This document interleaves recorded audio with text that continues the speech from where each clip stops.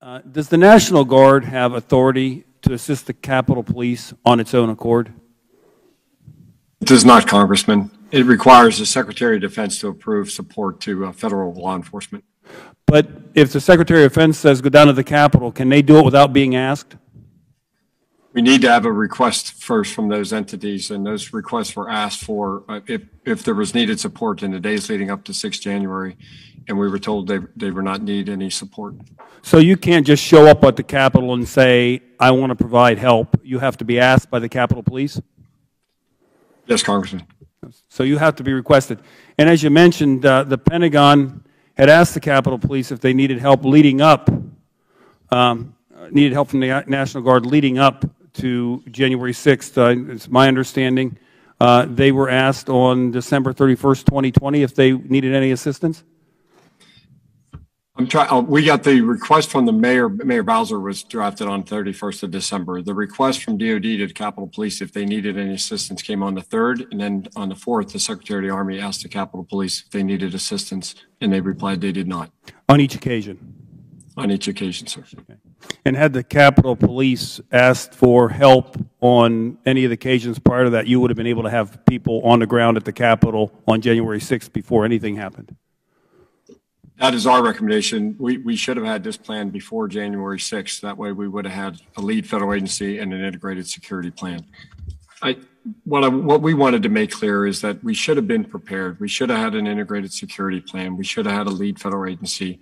Those requests did not come in. And the time to respond to a crisis, uh, sadly, when it was occurring, we just couldn't get there in time. We just were not in position. Irving, uh, why was the request for National Guard assistance not approved at the same time you approved the expansion of the perimeter? Chief Sund called me to tell me that he had received an offer from the National Guard to provide us 125 unarmed troops to work traffic control in the perimeter of the Capitol.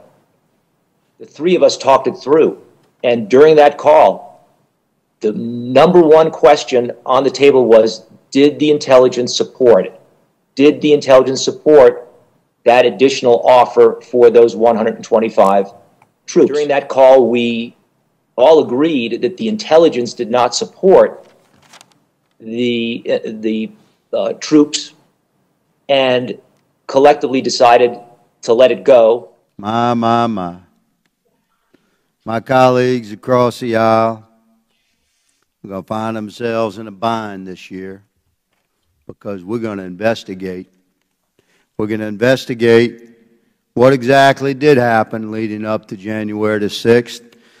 You'd have had to be living under a rock in America to not know that there was potential for violence, riot, and mob behavior on January the 6th. Anybody with an ounce of common sense and any kind of connection to the street knew that that was a potential. The United States Capitol Police received intelligence from numerous law enforcement and intelligence services which clearly indicated the likely, a likelihood of violence on January 6th, and they failed to adequately prepare. Let's look at why. Mayor Bowser. My goodness. December 31st, she had one tone when she requested the cooperation of the D.C. National Guard. And let me clarify, the, the commanding general of the D.C. National Guard is subordinate solely to the President. The authority to activate the D.C. National Guard has been delegated by the President to the Secretary of Defense and further delegated to the Secretary of the Army. There's a chain of command. It be, begins with a request from the mayor. The mayor made that request on December 31st. The, the President authorized it on January the 3rd, but on January the 5th, Mayor Bowser of D.C., who's deeply connected with my Democratic co colleagues here in this body, she had a change of heart, sent out a letter. So we don't want any National Guardsmen here. I got National Guardsmen just for traffic control, wearing safety vests, unarmed working traffic control and, and, and, and crowd control here and there in the city. Certainly not pre-deployed to react and respond quickly to the kind of thing that everybody knew was a potential to happen on January the 6th. So what happened? Were there communications between my colleagues in the Democratic Party and their friend, the mayor of D.C., to have that change of heart the day before January the 6th?